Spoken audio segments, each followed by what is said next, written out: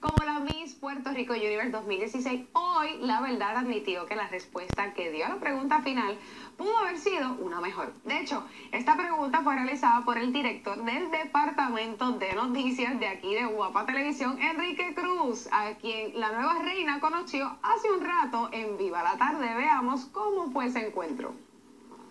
Ella dice que usted la impactó. Ahí lo tienes de fondo. Dice, dice que se intimidó contigo con tu pregunta. Es la voz, es la voz. Ah, la voz. Es la Es, es como vez que me cuando escucho a. Andrea Bocelli que me... Oye, así cuando de. Esta pregunta ha traído mucha cola en todos lados, en las redes. Y se hizo con la mejor intención del mundo. O sea, yo pensé que iba a ser una pregunta fácil.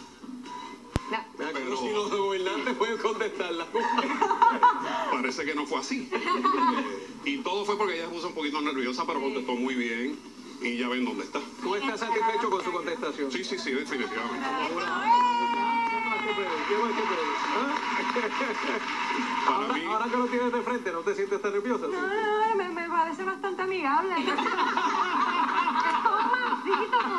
a mí lo más que me gustó fue cuando ella dijo, ese señor...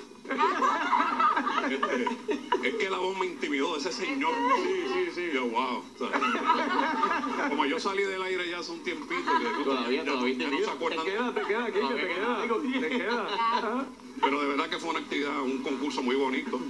La competencia, competencia estaba fuerte, había muchas muchachas muy lindas. Y tu jurado está satisfecho con la elección de Cristina. Definitivamente. Eso es.